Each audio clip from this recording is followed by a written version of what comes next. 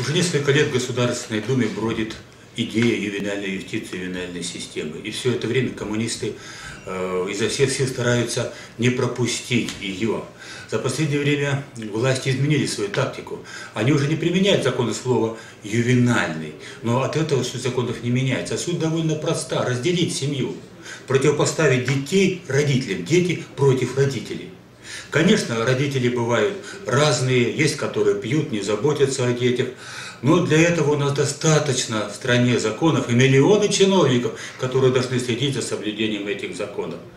Другое дело – это родители безработные – бедные, у кого зарплата низкая или сверхнизкая, они не могут постоянно покупать детям дорогую, хорошую еду, модную одежду, давать непрерывно деньги на дискотеку, образование, э, не могут постоянно покупать дорогие игрушки. И вот против них в первую очередь и будут направлены новые законопроекты о э, ювенальной юстиции. Вообще ювенальная юстиция означает правосудие для юных, как бы вот защиту детей. Но слово «защита» понимается очень и очень широко.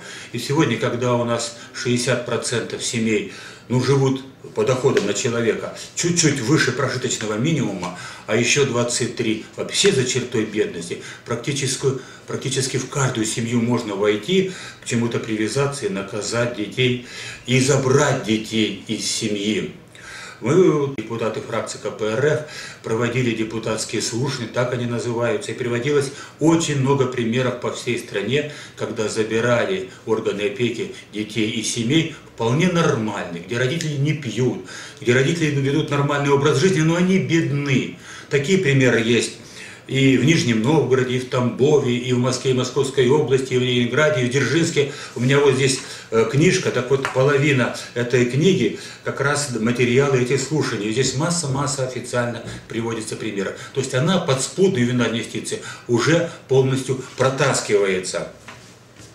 Надо учитывать, что ювенальная юстиция и наказание коснутся не только бедных семей, они могут коснуться и средних, и даже зажиточных.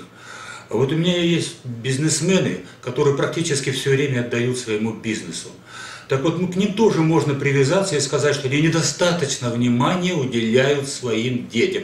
И это будет вполне хватать, чтобы ребенка из семьи забрать. То есть можно будет под законом о ювенальной заботе э, сводить счеты э, между собой.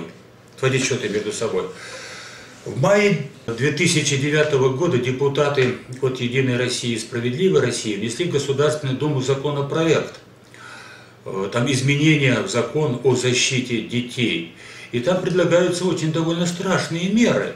Ну, например, родители, которые не выполняют своих обязанностей или не выполняют их в полном объеме, как бы сказать, э, некачественно, э, к ним могут приниматься меры принудительной работы 240 часов – исправительной работы в течение года, э, завести уголовное дело и лишить свободы до трех лет.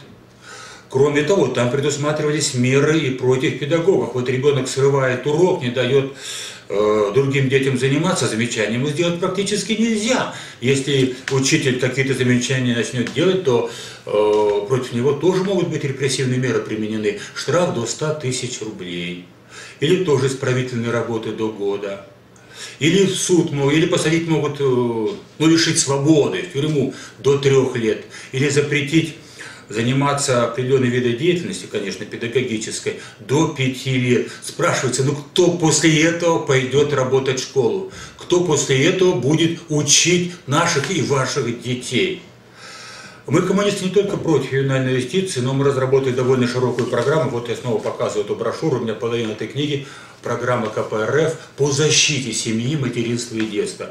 Мы ее передали и президенту Медведеву, и правительству Путину, и неоднократно э, доводили отдельные положения до голосования в Государственной Думе. Программа охватывает широкий э, круг вопросов. Конечно, прежде всего нужна нормальная работа и нормальная зарплата. Но, кроме того, у нас много предложений по изменению сути материнского капитала, чтобы не только при рождении второго ребенка его получали бы, а третьего, четвертого и последующих. И чтобы не только капитал был виртуальный, его нельзя как-то вот снять со счета и использовать на немедленную вот помощь своему ребенку или матери, а чтобы деньги тут же перечислялись на счет семьи, семья сама могла э, решать, на что ей необходимо эти деньги использовать. Э, вопросы, связанные э, с компенсацией э, оплаты в детских садах, э, выделение бесплатного жилья. Тут те, кто взял кредит, значит, скажем, при рождении первого ребенка, если один ребенок в семье, 25% погашать, два ребенка 50, а три ребенка 100% кредита погашать, ну и так далее, и так далее. Есть еще целый ряд предложений, связанных с отдыхом детей, э, ребенка и матери, э, с лечением. Как правило, единороссы говорят, а у нас нет денег. Ну, это, конечно, смешно. Когда начался кризис, практически сразу они нашли 5 триллионов рублей, чтобы помочь своим банкам. А тут выходит Э, на детей, на семью денег не бывает, денег у них нет. Конечно, это ложь. Наша позиция, позиция КПРФ однозначна. Семья – это высшая ценность государства. И укрепление семьи должно быть не только заботой родителей, но и заботой власти.